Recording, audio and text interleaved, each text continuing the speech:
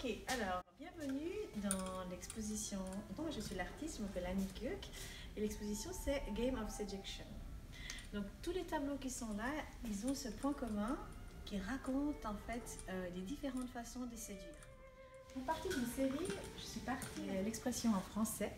euh, J'emballe les hommes. C'est une expression qui n'existe pas dans une autre langue. Ça veut dire dans la séduction, euh, séduire les hommes. C'est ce qui m'intéressait, c'est d'utiliser au sens propre et figuré. Donc j'ai trouvé les différents types d'emballage. J'ai choisi du, papier euh, alimentaire, là il y a du papier cadeau, j'ai aussi du papier postal, du papier plastique à fleurs, du papier cellophane. Et euh, j'ai choisi des, des modèles que j'ai emballés et que j'ai reproduits en peinture acrylique. Ensuite, je vais vous amener vers le prochain euh, emballé, on vous allez probablement le reconnaître. Alors là, bah, j'ai de la chance de connaître euh, Stan Wawrinka et je lui ai demandé, eh ben, c'est- ça faisait ces deux ans, quand il, s'est fait opérer du genou, il était immobilisé, il était à la maison et je lui ai demandé euh, s'il était d'accord de- d'entrer dans ce projet.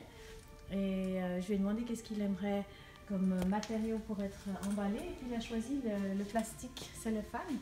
Donc euh, il a posé, on l'a emballé, pris des photos, beaucoup beaucoup de photos jusqu'au moment où on avait suffisamment de détails, mais euh, je l'ai peint dans mon atelier. Voilà. Donc un challenge de nouveau au niveau des textures, au niveau de la technique picturale, c'est un, un tableau en acrylique et l'intérêt c'était de justement jouer avec la transparence.